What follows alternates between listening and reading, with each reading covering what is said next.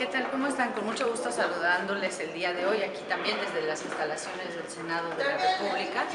Y bueno, pues en esta ocasión para comentar con todos ustedes, como seguramente ya estarán enterados, el día de hoy recibimos a los cuatro dirigentes sindicales de los trabajadores de Mexicana, trabajadores de tierra, pilotos, sobrecargos, eh, trabajadores de, confianza.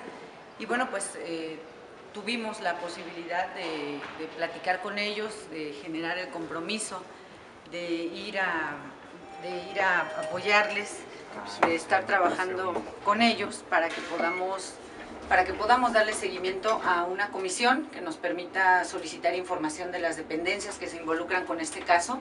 Estamos hablando de la Secretaría de Comunicaciones, de Hacienda, estamos hablando de la Secretaría de Trabajo y algo muy importante que en el marco de esta, precisamente de esta nueva legislatura, lo que queremos es precisamente que se asuma el compromiso de darle seguimiento de manera puntual por una, comisión integrada por todos, todos los partidos políticos para atender el, tema de Mexicana.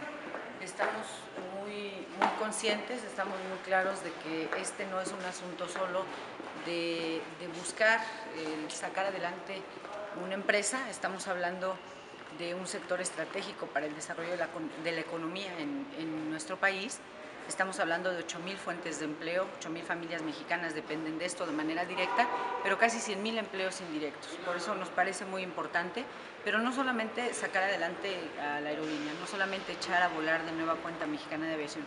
Lo que queremos es que este trayecto en el Senado nos permita construir por primera vez una política aeronáutica de Estado, que nos permita saber qué es lo que queremos de la aviación comercial, de la aviación en general en nuestro país para los próximos 20 años por lo menos. Ese es nuestro objetivo y vamos a trabajar para generar esas condiciones. Queremos que todas las fuerzas políticas, todos los partidos se sumen a esta responsabilidad que tenemos. Muchas gracias y un gusto como siempre saludarles. Gracias.